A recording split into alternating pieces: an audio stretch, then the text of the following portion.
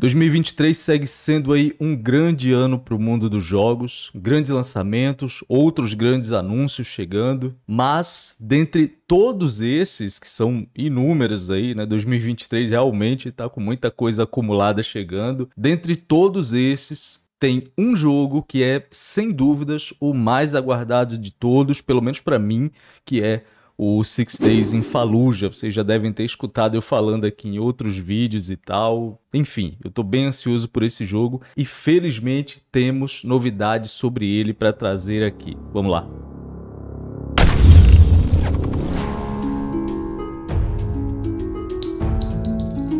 Ok, Beleza, guerreiros? Satisfação enorme ter todos vocês por aqui.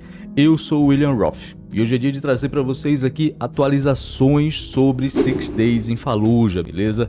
Uh, esse jogaço ele tá previsto aí para ser lançado ainda esse ano, sem data ainda, né? Mas com certeza agora no meio do ano já deve ser revelada aí a data pra gente. Eu tenho dois outros vídeos aqui no canal falando sobre esse jogo, vou deixar o link de ambos aqui no final do vídeo, naqueles vídeos sugeridos lá no final, né? Então sugiro que vejam também, porque tem muita informação lá. Mas antes, uma dica rapidinho aqui para vocês sobre a Clamper, que oferece aí dispositivos de proteção para o seu setup, beleza? Você aí que gastou uma pequena fortuna no seu PC game ou no seu PS5 ou Xbox Series, a gente sabe que esses aparelhos estão cada vez mais caros, então imagina só você perder tudo isso por causa de um surto elétrico, é, é bem tenso, né? Então, Aqui na descrição tem um link para você comprar com desconto o seu iClamper. Dá uma olhada porque ele vai te dar proteção de verdade contra raios e surtos elétricos. Vale muito a pena conferir. Vai lá.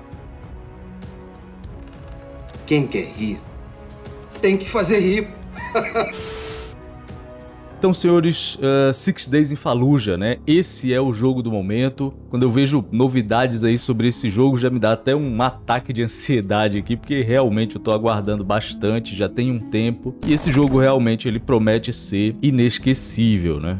Só para contextualizar rapidinho aqui, para quem não conhece, o Six Days in Fallujah, ele é um FPS tático, né? Ele se passa ali durante a segunda batalha de Fallujah. Esse jogo ele promete ser um jogo extremamente polêmico, exatamente por tentar dar uma abordagem meio documental ao jogo. Para quem não sabe, nós vamos ter nesse jogo aí relatos dos próprios envolvidos no conflito. Então o jogo, além de ter essa proposta mais realista de gameplay e tal, ele ainda quer trazer à tona aí discussões mais profundas ali sobre a história. Eu acho que o último jogo que tentou uma proposta semelhante foi o Spec Ops The Line. Quem jogou aí vai lembrar, outro jogaço. Inclusive, joguei a campanha dele inteira aqui em live. Quem não viu, recomendo que veja também. Mas vamos lá, né? Vamos falar sobre essa novidade aí sobre o game, porque nos últimos dias foram divulgadas aí duas novas gameplays do jogo, bem curtinhas, mas claro que tem muita coisa para se analisar. Então vamos dar uma olhada aqui, porque esse jogo, olha, ele tá realmente incrível. Vamos lá. Beleza, tá aí o aviso de que essa gameplay ela é uma pré-beta. No último vídeo que eu fiz aqui sobre o Six Days in Fallujah, eu comentei com vocês que esse jogo ele estaria presente numa exposição do IWM, que é o, o Imperial War Museum, essa foi uma exposição que foi patrocinada aí pela Rebellion, para quem não lembra, a Rebellion é a desenvolvedora da série Sniper Elite, mas enfim, foi só uma informação aqui. Provavelmente essas gameplays foram as que foram exibidas lá nessa exposição do ano passado.